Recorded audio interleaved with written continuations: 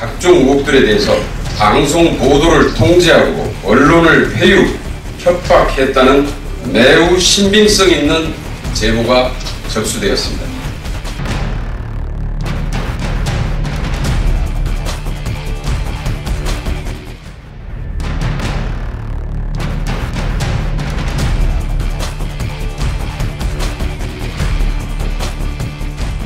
외국에 의사로서 의사로서 오래 계시다가 귀국을 하셔서 어, 노후에 그 생활을 전원 생활을 하시겠다 해서 제 것도 아니고 저, 좀 거니까 했는데 그래서 사셨겠죠 두 분